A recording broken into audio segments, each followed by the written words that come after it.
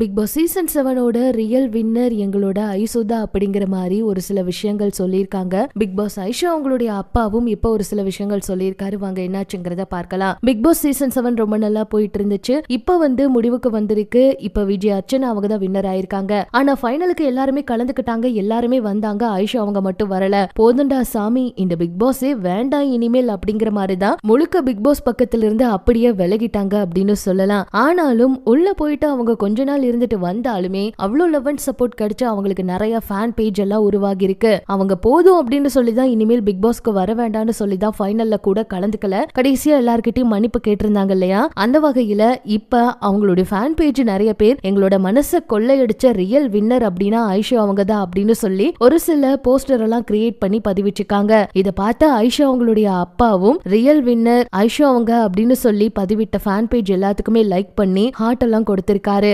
உண்மையா எங்களோட பொண்ணு நல்லா தான் விளையாண்டாங்க. ஆரம்பத்துல ரொம்ப நல்லா விளையாண்டாங்க. ஆனா கொஞ்ச நாள் கழிச்சு அவங்களுடைய விளையாட்டு மாறிடுச்சு. ஆனா கடைசி வரைக்கும் விளையாண்டிருந்தா ஐஷா அவங்களும் ஃபைனல்ல நின்றுப்பாங்க அப்படின்னு சொல்லி அவங்களோட குடும்பத்துக்கும் இந்த ஆசை இருந்திருக்கு. எதுவா இருந்தாலும் சரி இதுவும் கடந்து போவோம் இதையும் கடந்து வருவோம் அப்படின்னு சொல்லி தான் அவங்க அர்ச்சனா அவங்களுக்கெல்லாம் வாழ்த்துக்கள் எல்லாம் சொல்லியிருக்காங்க. ஃபைனல்ல ஐஷா அவங்க கலந்துப்பாங்கன்னு அவங்க ஃபேன்ஸ் எதிர்பார்த்தாங்க. ஆனா அது நடக்காம போயிருச்சு. நம்ம சார்பாகவும் அர்ச்சனா அவங்களுக்கு வாழ்த்துக்களை சொல்லிக்கலாம்.